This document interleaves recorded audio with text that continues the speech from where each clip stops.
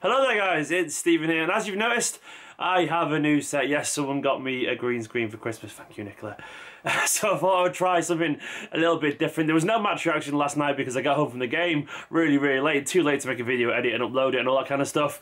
Uh, so I thought I'd use today as the first time to try this lovely virtual city studio thing that I've created. I hope you like it. I hope you like all the new ideas in this. I did say on Twitter that I wanted to up my production values this year and hopefully this falls into that category. I hope you like it. Let me know in the comments what you think of this new idea, this new set that I've got going on. And also, Happy New Year to everyone. Uh, I hope you had a wonderful New Year. I've only just got over my hangover. I had far too much to drink, but it was very, very enjoyable. So Happy New Year, and here's to a very prosperous 2018. I'm sure it will be. But anyway, on to the actual game. It was a routine victory, but I want to start in this five things learned with a man that everyone's talking about for varying reasons at the moment, David Silva. Now, if you don't know, the news broke today why he'd been absent from Manchester City for a little bit. And it wasn't nice news, unfortunately. Uh, his son, Mateo, has been born prematurely, and it's been a very tough time for him. That can only be a horrible thing for a new father to go through. I can't begin to empathise how difficult that must be. It must be absolutely killing him knowing that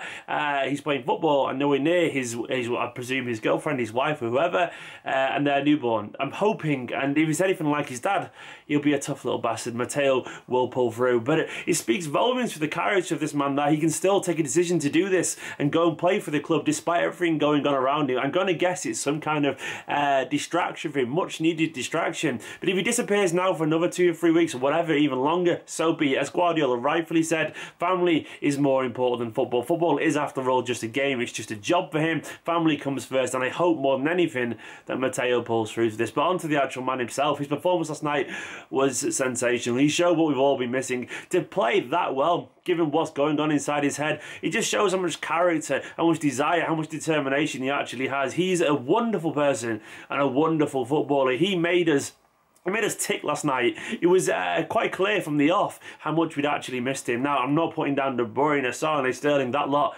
but obviously, Silva is a special, special talent. He is the heartbeat of this team. He's the man that keeps them going. And soon as he was on the pitch as well, it gave space for Sane. It gave space for De Bruyne. You had to mark someone else, another little magician, and he was finding Sane in behind the defence all night. And that's where the game, the goal came from inside about 45 seconds. His little through ball to uh, Sane, Sane's whipped cross, and obviously Sterling firing home. He was majestic, finding pockets of space everywhere, dictating play, being tenacious as ever. Uh, and he looked like he hadn't, he had looked like he'd never been been away at all. He's just a credit to this club, David Silva, and I hope more than anything that Blues get behind him. I'm sure you will are. You all, I'm, I've been online. The overwhelming response he's had so far has been absolutely beautiful to read. Um, we all care about him so much. He cares about this club. He never puts a never puts a foot out of place. He never moans. He's a blue through and through. David, uh, you're not going to see this, but if you did somehow, I hope your son pulls through. I hope your family's okay uh, because you're a city legend, genuinely, and you're fantastic last night. Second little point is just a very quick one, really, about Ederson.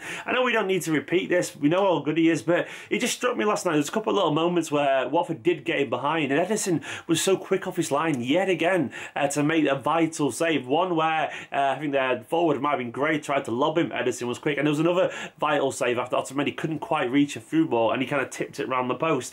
He's just got this habit recently, and I think about the penalty save as well against Crystal Palace. He's got this habit of just doing what he needs to do when he has to do it. It's a really, really good mindset to have. It's a great trait to be able to just pull out a big save uh, when City are cruising in general because he stops that complacency slipping in. And we all know about his passing. He's an absolute freak of nature, that man. He passes better than most 90s Man City's midfielders. I swear he could play midfield and he'd be fine.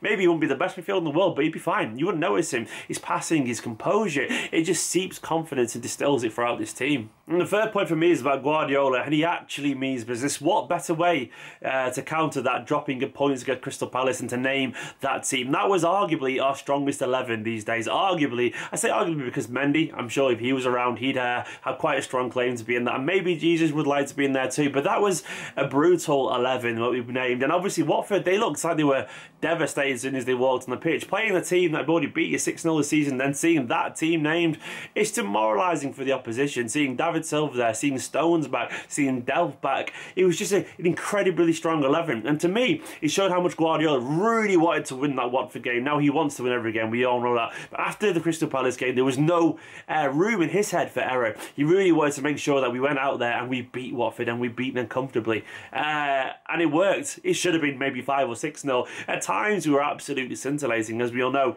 Guardiola had them motivated, he had the football uh, precise, intricate, he had them moving on the pitch. There was one or two sloppy moments, and Guardiola himself said afterwards that we didn't move the ball quite as sharply after the initial 20 minutes. And uh, then obviously we upped it again in the second half a little bit. And maybe we should have scored a few more, but Guardiola set them up so well, and he's getting the best out of him. And you can just tell at the moment that he won't let anyone be complacent. He won't let anyone think they can take the foot off the trigger, off the acceleration pedal, because it, there isn't any room for that. We need to go for the kill while we still can, and that's what Guardiola's got this side set up to do. The four point for me is Kevin De Bruyne and how good he is getting. He was a man possessed yet again last night after an absolute wallop from Jason Puncheon, a huge impact injury. He still proved at 4 pm yesterday that he wanted to play. He took a late fitness test saying, No, I am playing. And you can't keep that desire down. He is an absolute born winner. He's growing into this leader role in this team. He'll be captain within two years, in my personal opinion, because he's getting this tenacity to his game. He's getting this energy, this drive. I was watching him in the stands, and there's one point where the, I guess the camera on TV might have been somewhere else, but I was just watching De Bruyne around, and I saw him intercept in his head,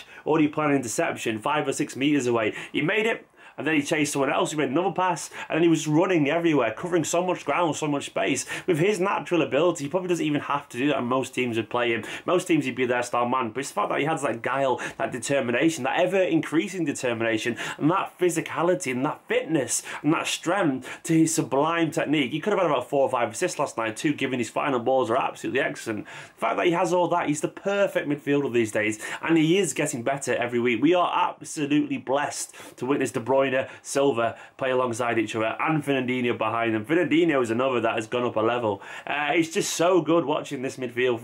And De Bruyne, he seems to be, in my opinion, about to become the icing on a very, very, very sugary, very sweet cake at the moment because he's going up a level every single day. Finally, uh, a little thing as well about Fabian Delph. Fabian Delph always deserves mention, as Fernandinho does. Those two I want to talk about because they're the unsung heroes of this team, in my personal opinion. Delph, it was really. Uh, kind of heartening to see his impact he had on the team. Now, he doesn't offer loads of attacking guile going forward. He isn't that kind of fullback. He hasn't developed in the past few months into that kind of fullback, but I don't think he ever will be. But what he brings is that maturity. Uh, he brings almost like a, a reliability and a technique and composure and energy and commitment that most people just can't offer. He obviously, as well, he's a midfielder. As Guardiola always said, he loves midfielders to play in defence because they're so comfortable on the ball. And he just never seems to be flustered. Him coming back into the team alongside Stones coming back into the team, uh, just added this kind of solidity that we needed. It added this kind of coolness and this composure. And Fernandinho as well, once again, his range of passing has improved exponentially this season already. He was playing 25, 30, 45 yard balls perfectly over the top. One ball to Raheem Sterling. He didn't quite get on the end of it. He kind of scuffed the finish. 18 goals of him, by the way. One ball off the top to Sterling was absolutely majestic. Fernandinho and Delph are becoming these kind of uh, understated talisman of the team. This, this, these workaholics that are so cool, so composed, and so reliable. It's just absolutely fantastic to see. Anyway guys, that's the end of this 5 things learned video. It was another fantastic win. We are 15 points clear. By my calculations, I think we need to win about 11 out of the next 16 games to be more or less guaranteed this. Uh, it's a very good time to be a City fan. It's great to see us immediately back on it after the draw at Crystal Palace. I wasn't bothered about Crystal Palace draw, as I said in the video previously. I just uh, wanted to make sure that we reacted well, and we have reacted absolutely perfectly. Let me know in the comments what you think of this set, uh, this virtual studio space I've created. Uh, drop this video a like if you don't mind, subscribe, and I will see you next time.